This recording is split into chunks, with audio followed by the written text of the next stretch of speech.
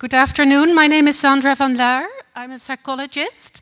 I'm going to tell you more about uh, a psychological approach that is currently being investigated um, in a clinical trial with myotonic dystrophy patients, in which I am involved.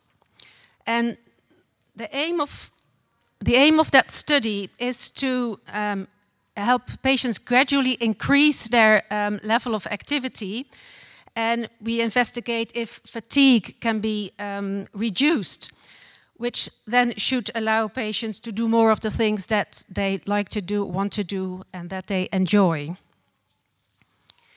In this psychological approach, there are different focus points or areas of attention that we think may help patients to become more active and feel less fatigued. And one of those areas of attention is sleep-wake rhythm. When sleep-wake rhythm is irregular, we are easily caught in a negative vicious cycle. Daytime sleep affects uh, the quality of the night rest, and not waking up refreshed makes us makes it more likely to feel unfit during the day, during the day, or fall asleep during the day, etc., etc. And daytime sleep makes it more difficult to get active um, and up and going. A regular sleep-wake rhythm does, and we know that that is not easy to um, to change um, by experience, and therefore in this intervention, yeah, one of the interventions of one of the um, things we pay attention to in the program is help patients, support patients to develop a regular sleep-wake rhythm and reduce the daytime sleep.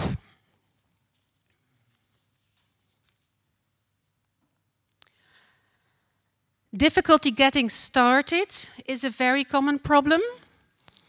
Patients find it hard to motivate themselves or to get started doing things. And this problem with motivation and initiative has to do with hurdles and ramps in the neuro neurological pathways that are involved, and it's not a matter of personality. We try to help patients find strategies around this problem. For example, by using a diary and plan your next day, think what you want to do the next morning or the next afternoon. Or use alarms or other reminders that might be helpful. And also we, we encourage people to develop routines as much as possible. Um, if we do something every day at the same time, or we do something every same day of the week, um, then make, it makes it more likely, you know, to, to make things happen and to do things.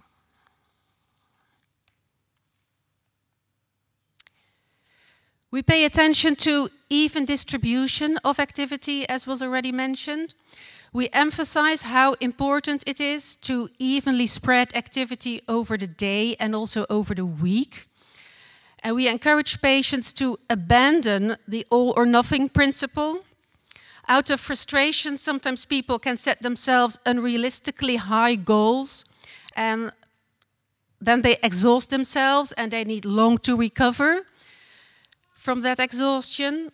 And uneven distribution of activity is what we call a fatigue sustaining factor. It, it, it, it sustains the tiredness. And therefore, we encourage people to evenly spread activity over the day and over the week.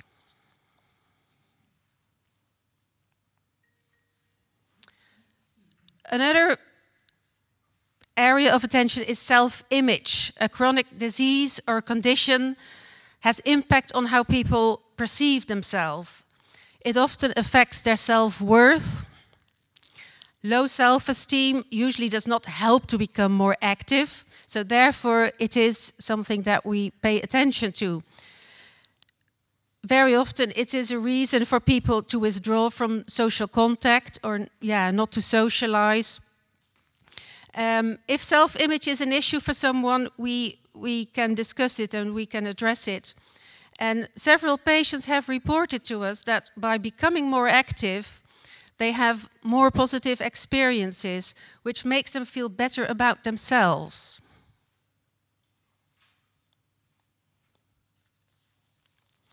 This is meant to be a picture of a three-generation family.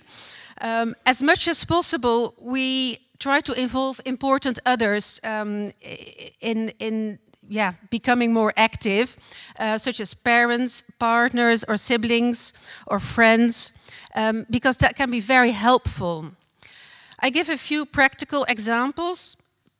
Um, for example, give the patient a nudge when um, he or she dozes off in the afternoon or early evening, and try to keep try to keep the person awake.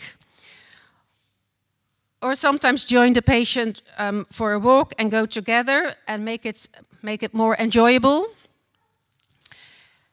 It can also be helpful to or not to take over jobs um, in the house if the patient can still do these, um, these things, um, which helps the patient to, to stay active. Or just give a compliment when there is an opportunity to do so, can be very helpful. Family or other important others can play a very important role in managing the impact of a condition, of a, um, uh, a chronic condition in daily life.